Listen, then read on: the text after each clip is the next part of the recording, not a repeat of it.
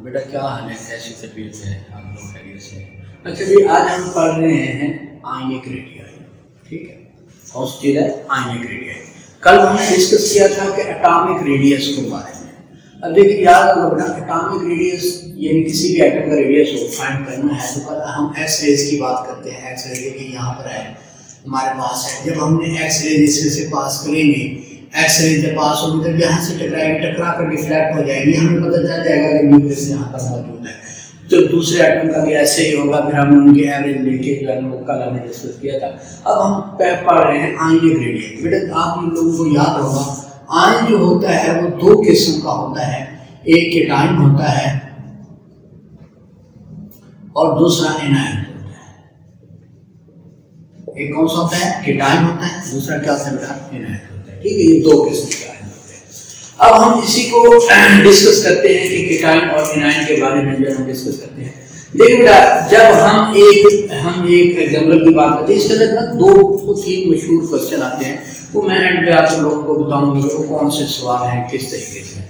देख बेटा, जब हम किसी कीटाइन की या इनाइंस की बात करते हैं, हम जब आयंस की बात करते हैं तो हम इसको सपोज़ करते हैं कि ये भी एटम की तरह हम कहते हैं, ये सफ़ेद ये भी तरह क्या बेटा सफेरिकल है। जब हम इसकी बात करते हैं तो हम कहते हैं, ये भी आन भी क्या है सफेरिकल है, ठीक? अब मैं इसके अंदर जो है, वो एक सोडियम की मिसाल लेता हूँ। देखो बेटा सोडियम जो हमारे पास होता है, आपको पता है, सोडियम जो होता है एन जो है इसका अटामिक नंबर ग्यारह कितना होता है बेटा ग्यारह। अब देखिए, पहले आप, मैं इसको फिजिकली यहाँ पे शो करूँ पहले आदमी में दो इलेक्ट्रॉन होते हैं, दूसरे में आठ होते हैं।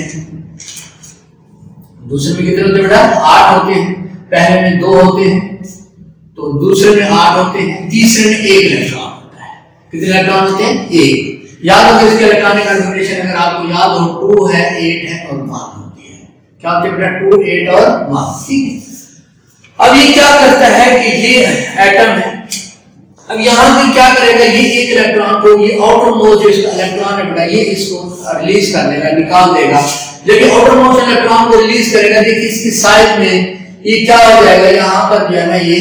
इसके यानी यूँ समझिए कि दो ऑर्बिट बन जाएँगे इसका न्यूक्लियस हो गया। इसके बाद यहाँ पर दो इलेक्ट्रॉन हो जाएँगे। ये हमारे पास एक, दो, इसके तीन आएँगे चार, पाँच छह और सात, और कितना बेटा आठ इलेक्ट्रॉन ऑलमोस्ट इसका जो ऑर्बिट वो खत्म हो जाएगा। एक इलेक्ट्रॉन यहाँ पर क्या आ जाएगा? वो निकल जाएगा। बात समझ आ गई? अब ये सोडियम एटम जो होता है बेटा, ये सोडियम था एटम था। ये सोडियम आयंस में तब्दील हो जाएगा, एक इलेक्ट्रॉन निकल जाएगा। बात समझा कि अब देखिए, यहाँ पर है। अब इसी का जो रेडियस है, देखिए, कम हो गया है। इसका रेडियस क्या हो गया है? कम हो गया है। ये कीटाइन है इसे हम कीटाइन कहते हैं।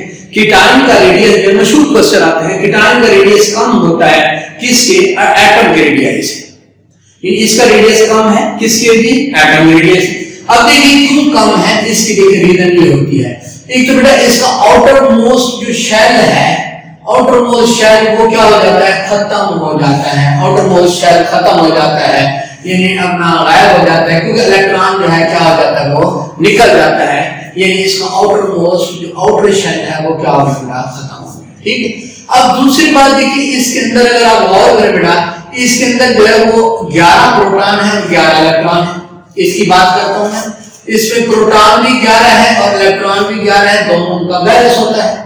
लेकिन यहाँ पर क्या होगा, यहाँ पर देखिए, यहाँ पर प्रोटॉन तो बेटा ग्यारह होंगे, लेकिन इलेक्ट्रॉन की तादाद कितनी हो जाएगी? दस हो जाएगी।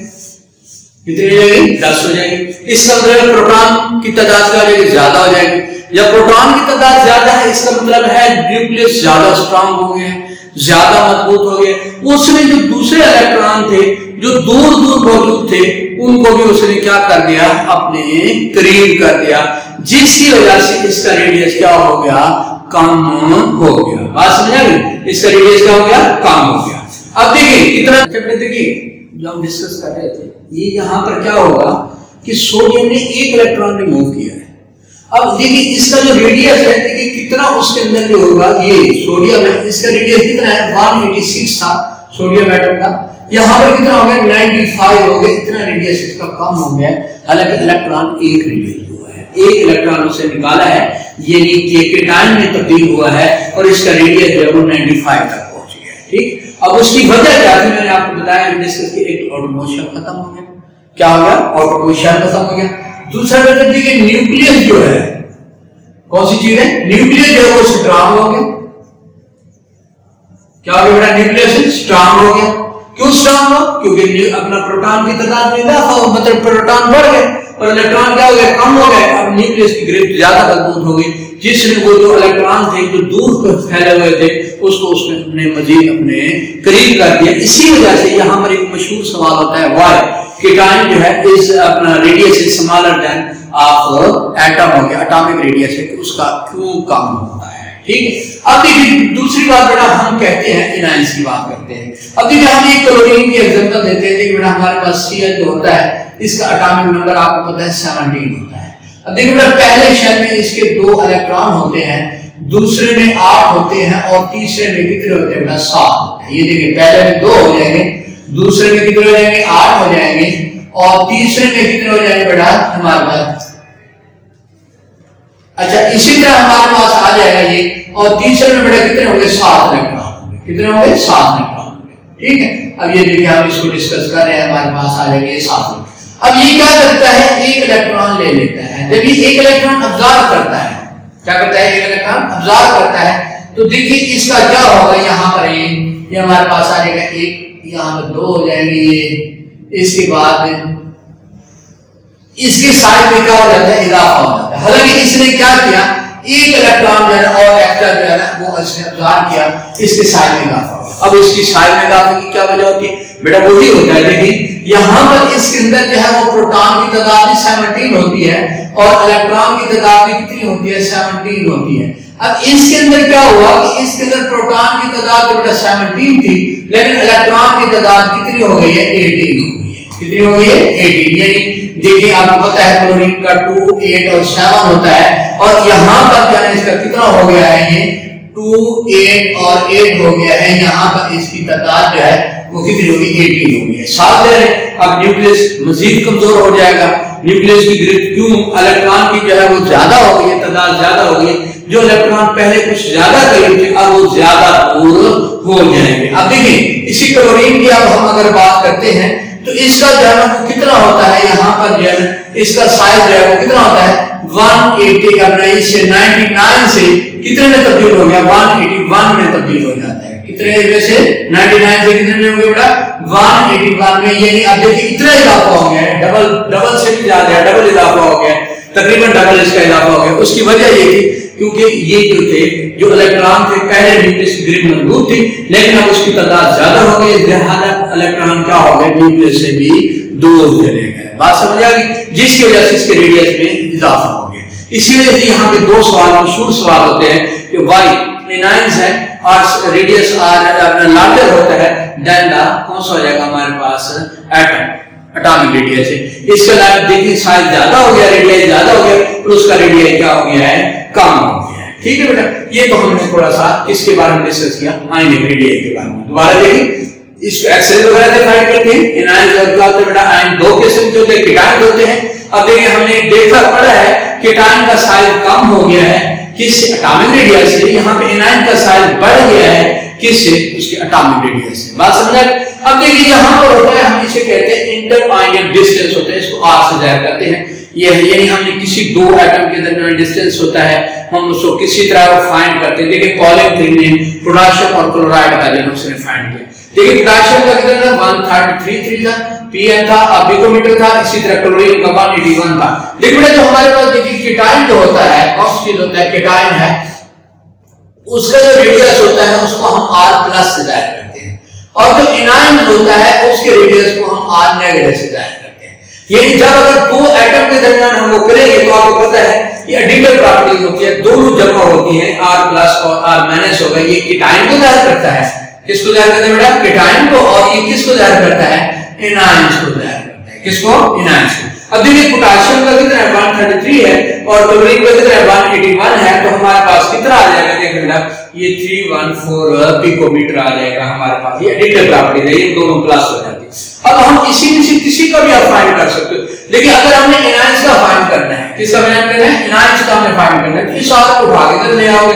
लेकिन हमारे पास अपना ये आ जाएगा। R माइनस हो जाएगा इज़ इक्वल टू क्या आ जाएगा बेटा? R है। हमारे पास आगे माइनस हो जाएगा आर प्लस हो जाएगा। किसी चीज़ का भी अगर हम फाइंड करना चाहते हैं तो हम इसको फाइंड कर सकते हैं। ठीक है बेटा, ये तो था हमारे पास, कौन सा था? आइनिक रेडियाई है।